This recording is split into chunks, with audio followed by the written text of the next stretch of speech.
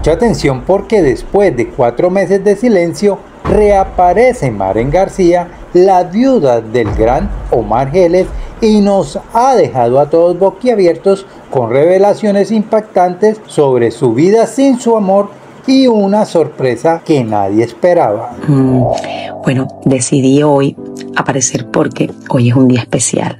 De verdad, para mí, hoy es un día especial y obviamente también compartirles porque les he, quedado debiendo y contarles muchas cosas de mi vida que, que, estoy segura que quieren, que quieren que les cuente, que quieren saber. Este 28 de septiembre, una fecha que quedará marcada en su corazón. Maren García decidió abrirse con sus seguidores.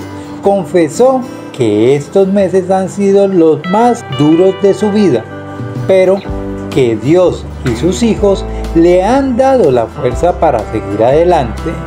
No ha sido fácil, comentó con voz entrecortada mientras revelaba que ha encontrado en los libros su mayor refugio.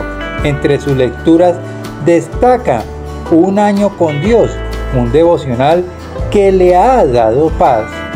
Un día a la vez, donde aprendió a vivir el presente y por supuesto la Biblia su guía espiritual. Pero la gran noticia que tiene a todos hablando es la resurrección de la agrupación La Gente de Omar Geles.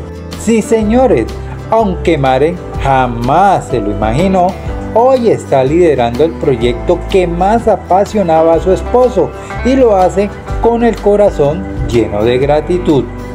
No sé mucho del tema, pero Dios ha puesto en mi camino a personas idóneas para guiarme, expresó emocionada y como si fuera poco, esta noche en un reconocido local de Bogotá será la primera presentación oficial de la nueva etapa de La gente de Omar Geles. Maren no quiso despedirse sin agradecer a sus fieles seguidores. Leo cada uno de sus mensajes y sus palabras siempre llegan en el momento justo. Así que queridos seguidores, este es el momento de demostrarle nuestro apoyo más que nunca. ¿Quién está listo para acompañar a Maren y a la agrupación en esta nueva aventura? Déjanos tu mensaje de aliento y comparte este momento histórico para el vallenato. Y recuerda, si quieres estar al tanto de toda la farándula vallenata, no olvides seguirme, comentar y compartir para estar en contacto.